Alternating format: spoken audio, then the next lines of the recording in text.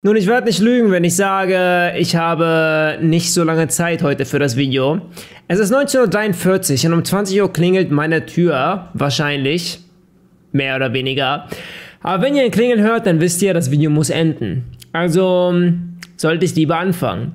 Nun, heute will ich ein Geheimnis verraten, was was ich niemandem verraten sollte, vor allem eigentlich nicht öffentlich machen sollte. Aber mein Kopf sagt mir, es sollte okay sein wenn ich meine kriminellen Aktivitäten, die ich mit 13 und 14 ausgeführt habe, ich meine, ich bin jetzt 28, wie du stark am Bart erkennen kannst. Wenn ich ihn schneide, sehe ich le leider aus wie 15. Deswegen muss ich einen Bart haben, damit jeder weiß, ich bin 28 und nicht 9. okay, kleiner Spaß. Vielleicht nicht so extrem, aber ja, ich äh, habe nicht die, ähm, wie soll ich sagen, die legalste Vergangenheit ever. Allerdings auch nicht die kriminellste. Ich bin kein Ultrakrimineller oder was auch immer, aber ich bin jetzt auch nicht der. Ich hatte jetzt nicht die unkriminellste Jugend. Ich finde heute nicht die richtigen Wörter. Bevor ich dir allerdings die Geschichte erzähle, wenn du wenn du über irgendwas willst, worüber ich reden soll, schreib es in die Kommentare. Es spielt keine Rolle, was. Ob es in den News ist, ob es irgendeine Story ist oder irgendwie sowas in der Art. Also ja, fangen wir damit an. Ich war zu dem Zeitpunkt 12 oder 13. Meine Eltern haben sich geschieden. Wir hatten vorher ein Eiscafé gehabt. Das hatten wir dann nicht mehr. Und dann bin ich und meine Mutter in ein Dorf gezogen. Und dieses Dorf war sehr interessant, denn da gab es ein Edeka. Es gab dort ein Edeka. Und äh, zu dem Zeitpunkt hatten wir nicht das meiste Geld der Welt, allerdings konnte ich mir trotzdem Sachen kaufen wie ein Döner oder so oder was man halt macht. Also, ähm, und Konsolen habe ich auch öfter mal bekommen oder ein Spiel. Also, auch wenn wir nicht die reichsten waren, aber ich hatte schon ziemlich. Ich hatte genug, sagen wir mal so. Ich hatte genug. Und Edeka hat mich mal angelächelt irgendwie. Ich weiß auch nicht wieso. Also, Edeka, wenn ihr das hört, ähm, dann könnte es sein, dass ich einfach nur euren Namen sage. Es könnte aber auch Rewe gewesen sein oder Aldi oder Lidl oder Rossmann, wer weiß. Eins von denen, aber wahrscheinlich war es Edeka. Das mache ich zum Selbstschutz übrigens. Und in diesem Dorf könnt ihr euch vorstellen, gab es auch einige Freunde, die nicht so einen super Einfluss auf mich hatten. Und dann habe ich gesehen, als wir in den Edeka reingegangen sind, dass einige meiner neuen, neuen Freunde, die ich da kennengelernt habe, die wie gesagt nicht den besten Einfluss auf mich hatten, aber mit 13, 14 ist man leicht beeinflussbar und das war ich definitiv auch. Und ich habe gesehen, wie die ein paar Sachen geklaut haben. Okay, und dann dachte ich mir so, wieso sollte ich das nicht auch tun? Und jetzt fragst du dich, was soll man überhaupt klauen bei einem Edeka oder bei einem Rewe? Wahrscheinlich war es aber Edeka. Was soll man da überhaupt klauen? Und zwar, es ist einfach, zum einen, wieso klaut man überhaupt? Was ist ein Klauen so toll? Ich meine, wenn du eine Bank ausraubst, was ist daran so toll? Ich habe gelernt, was daran so toll ist. Okay? Es ist meistens nicht mal das Geld. Du denkst dir so, okay, ich raube jetzt eine Bank aus und ich werde das Geld bekommen. Das ist es aber gar nicht. Das Geld ist das Zweitgeilste. Das Geilste ist eher der Kick in dem Moment. Fallschirmspringen, Bungee Jumping, mit 70 km/h mit einem Skateboard einen Berg runterfahren ohne Bremsen, das ist gar nichts. Im Gegensatz zu Klauen. Der Moment, wenn deine Taschen vollgepackt sind. Übrigens, ich sollte vielleicht dazu sagen, Klauen ist nicht gut, Klauen nicht. Wenn du erwischt wirst, wird es kacke sein, okay? Also es klingt jetzt so, als würde ich Klauen gut darstellen. Es ist natürlich nicht gut, okay? Aber es ähm, ist in dem Moment einfach so, wenn man den Kick sucht. Nun, für mich, ich habe nicht wirklich den Kick gesucht. Ich wollte einfach nur ein paar kostenlose Süßigkeiten haben. Außerdem hatte ich immer Stylo Milo Haare. Jetzt habe ich geduscht. Meine Haare sehen so aus, nachdem ich geduscht habe. Ich habe sie nicht mal gemacht, weil es mir das egal ist. Aber ihr könnt euch vorstellen, als 13-, 14-Jähriger musste ich die coolsten Haare haben. Deswegen war Haargel eine hohe Priorität für mich. Nun, eines Tages hat sich meine Mutter gefragt, sag mal, von wo hast du eigentlich die ganzen Haargels her? Habe ich gesagt, ich weiß nicht mehr, was ich genau gesagt habe. Ich glaube, ich habe gesagt, habe ich mir gekauft? Nee, dann, das könnte ich nicht gesagt haben, weil dann, dann wüsste sie, dann, ich meine, von wo habe ich das Geld, richtig? Ich habe ja kein Geld verdient zu dem Zeitpunkt. Aber, ähm, Ja, ich habe irgendwas gesagt, vielleicht vom Freund. Ich weiß nicht, was ich gesagt habe. Oder ich habe gar nichts. Ich glaube, ich bin aus der Wohnung gerannt. Ohne eine Erklärung. Aber ja, der Moment, wenn man halt diese fette, wirklich hatte, ich hatte wirklich eine Jacke, das war im Winter, deswegen geht's auch. Im Sommer ist es ein bisschen schwerer mit einem Rucksack. Sieht ein bisschen auffällig aus. Aber ein, die größte Sache, die ich geklaut habe, war Haarspray. Und ich hatte wirklich so eine richtig fette Bomberjacke. Und ich bin reingegangen und ich habe mich umgeschaut, ob jemand kommt oder nicht, habe sie schnell reingesteckt zu und ich habe so viel reingetan wie möglich, weil natürlich musste sich auch lohnen, okay? Und dann aber ganz wichtig, ganz, ganz wichtig, zum einen, du schaust immer auf die Spiegel. Schau auf die Spiegel. Da oben gibt es immer so Spiegel. Diese Spiegel sind dazu da, dass jemand anders sehen, dich beobachten kann. Das ist quasi fürs Klauen. Das sind so meistens schräge Spiegel. Ich weiß nicht, ob die immer noch existieren. Ich glaube nicht mehr. Ich glaube einfach, viele Leute klauen gar nicht in so Läden mehr. Äh, ja, aber wir haben das als Jugendliche getan.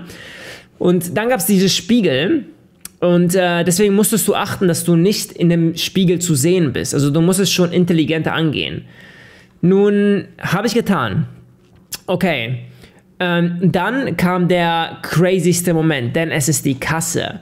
Nun, du könntest natürlich immer wieder einfach so rausgehen. Heutzutage, wenn du einfach so rausgehst, selbst mit dem Rucksack, niemand hält dich an, okay? Allerdings ist das, ist das ziemlich auf, beziehungsweise man fällt auf. Man fällt auf, wenn man einfach so rausgeht. Jedes Mal. Ich meine, die Leute, werden, die Mitarbeiter werden sich denken, hm, was stimmt mit dem nicht? Also habe ich immer was gekauft. Ich habe immer eine Kleinigkeit gekauft. Meistens war es Kaugummi damit ich etwas kaufe und ich habe auch immer so getan, als hätte ich, als wäre es nicht, als hätte ich es wirklich null eilig, okay? Und ähm, das hat tatsächlich funktioniert. Es hat tatsächlich funktioniert und ich weiß eine Sache, ich habe das getan, bis ich das Gefühl hatte, jetzt wird es bremslich. Ich glaube, ich habe es für ein halbes Jahr gemacht, ziemlich oft sogar, und ich wurde nicht ein einziges Mal erwischt. Ich glaube, ich habe etwas über 1000 Euro geklaut bekommen, tatsächlich. Das war ziemlich crazy. Und ich hatte so viel Haarspray, ich hatte so viel hm, Süßigkeiten, ich hatte alles. Ich habe allerdings, wenn ich geklaut habe, nur von so größeren Konzernen geklaut, wie Edeka, Rewe, Lidl, halt so, die es nicht wirklich interessiert. Es ist so ein bisschen so wie bei Amazon. Wenn du bei Amazon irgendwas zurückschickst, dann juckt es die nicht. Du kannst die ganze Zeit Sachen kaufen, zurückschicken, probieren, für zwei Wochen zurückschicken. Es interessiert die nicht. Selbst wenn du es in, in, einem Wert von 10.000 Euro tust, die interessiert das nicht, weil 10.000 Euro sind für Amazon sowas wie für mich 0,000000000. Ich könnte jetzt die ganze Zeit so weiter. Es ist auf jeden Fall eine Menge Nullen. Punkt 1 Euro, okay? Oder Cent, eher gesagt.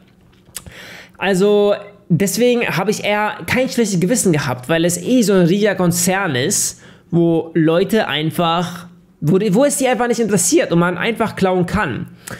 Allerdings gab es auch neben mir einen Kiosk, wo ich immer meine bunten Tüten gekauft habe. Ich weiß nicht, wer die noch kennt, aber bunten Tüten sind was Episches auf jeden Fall. Äh, Gibt es bestimmt noch, aber ich glaube mittlerweile sind die viel teurer, genauso wie Döner.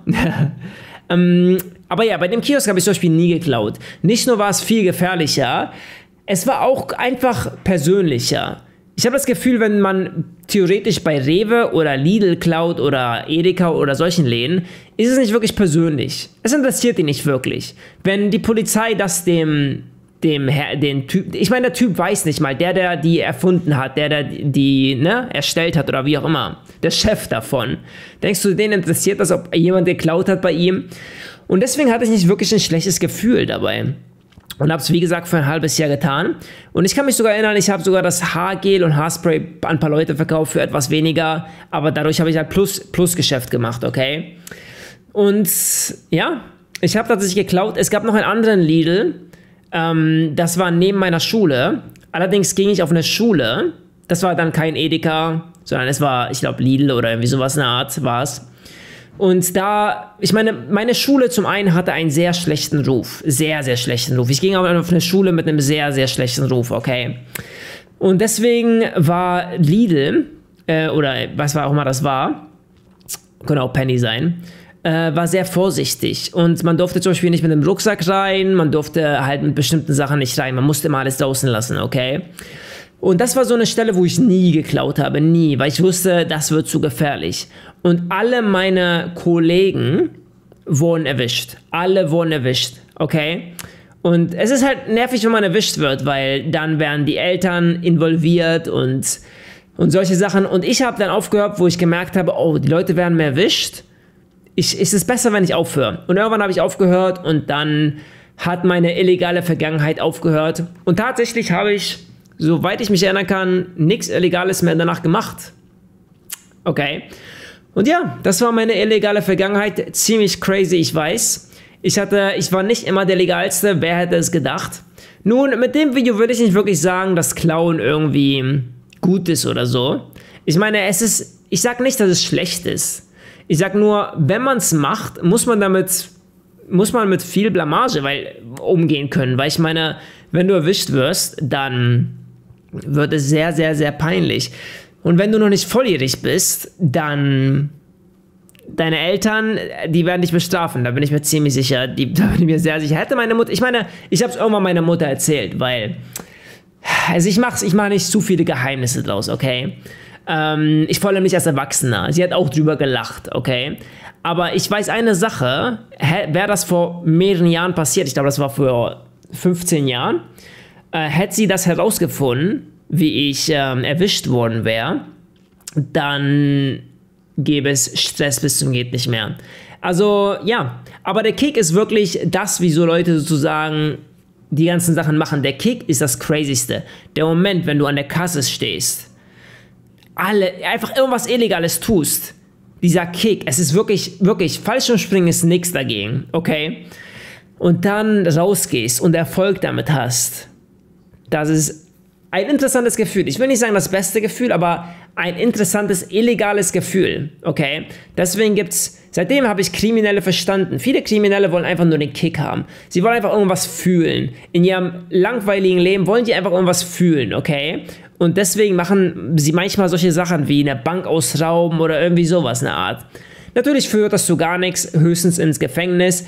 Aber ähm, jetzt, wo ich mich erinnere, warte mal, das habe ich vergessen zu erwähnen, wo ich mich erinnere, ich habe eher aufgehört, weil ich, ich glaube, ich war, ich war 13 und ich wurde 14 und ab dem Zeitpunkt war ich auf einmal strafbar. Ich glaube, so war das. Ich weiß nicht mehr, wie die Gesetze heutzutage sind, aber ähm, ich glaube, mit 13, wenn man irgendwas tut, müssen die Eltern noch dafür Verantwortung übernehmen und mit 14 ist man selber dafür verantwortlich, obwohl man nicht volljährig ist. Zum Beispiel, wenn man jetzt irgendwie eine krasse Straftat, äh, jemand zusammenschlägt oder irgendwie sowas macht, keine Ahnung, dann ist man ab einem gewissen Alter selber verantwortlich dafür und nicht nur ab 18. Genau, jetzt wo ich mich erinnere, deswegen war es. Aber ja, das war die Geschichte, meine illegale Vergangenheit. Es tut mir leid, dass ich nichts Spannendes zu erzählen habe, wie eine Leiche im Keller oder so. Obwohl, wer weiß, vielleicht kommt das ja noch und dann habe ich ein cooles Videothema. Also, ähm, ja, wenn ihr mehr über meine Leichen erfahren wollt, lasst mich wissen. Aber ja, wenn du über irgendwas willst, worüber ich reden soll, dann schreib es in die Kommentare. Es muss nicht irgendwas mit meiner Vergangenheit zu tun haben. Es kann auch mit den News zu tun haben oder mit alles, mit allem. Worüber du auch immer willst, worüber ich rede. Ich brauche eure Ideen. Okay, ich brauche eure Ideen. Dieser Kanal ist wortwörtlich null Arbeit für mich. Ich rede einfach nur zur Kamera und stelle mir vor, da ist ein Mensch und der schaut das Video. Und ja, übrigens, wo ich jetzt einen Bart habe, muss ich damit rumspielen, wie ihr sehen könnt. Aber ja, das war's für das Video. Lasst noch oben da, abonnieren kostenlos, kommentier für den Algorithmus und ich sehe dich im nächsten Video wieder. Bye.